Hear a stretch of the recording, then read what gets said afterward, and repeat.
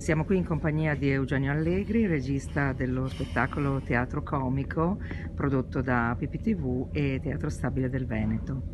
Eh, Eugenio, che cosa significa per te mettere in scena un testo di questo tipo in questo periodo storico, cioè un testo che parla di teatro e di attori? Beh, è, una, è una sfida epocale farlo adesso, perché insomma, in questo momento in cui gli attori fanno fatica a tornare sul palcoscenico, eh, anzi siamo un po' gli ultimi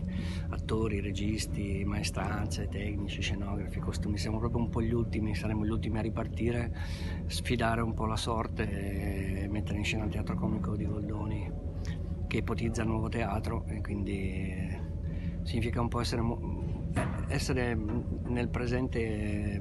artistico, poetico, politico del, del nostro tempo perché in questo momento stiamo approfittando più o meno tutti noi teatranti di questa fase di, di sospensione proprio per eh, cominciare a pensare alla, al futuro del teatro. Probabilmente non, insomma, se non fosse successo tutto questo avremmo continuato a, a inseguire un po', un po' arrovellandoci dentro il nostro, il nostro, i nostri trascorsi e quindi un po' un po' aggomitolati dentro il teatro così come fino adesso l'abbiamo pensato e immaginato, anche se ci sono già stati i linguaggi che si, si rinnovano ormai da, da tempo. Insomma.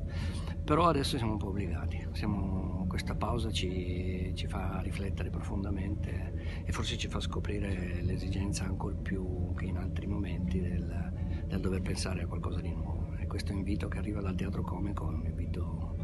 che per quanto antico nella sua scrittura di 270 anni fa eh, apre degli spazi di modernità, di attualità che vanno assolutamente sfruttati. Quindi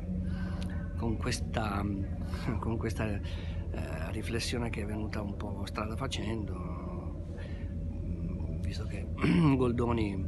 nelle, in questa prefazione, lui chiama il teatro, il teatro comico una prefazione, quindi con tutti i presupposti mancanti per fare teatro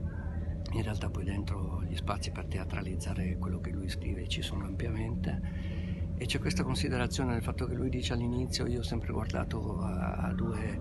a, due, a due realtà, il teatro e il mondo, ma adesso in questa nostra essenza eh, di questi tempi credo che si possa dire tranquillamente per quello che sta succedendo che il teatro sia il mondo nostra realtà rispecchia automaticamente tutto quello che è il mondo fuori dal teatro, quindi siamo doppiamente autorizzati. Grazie mille.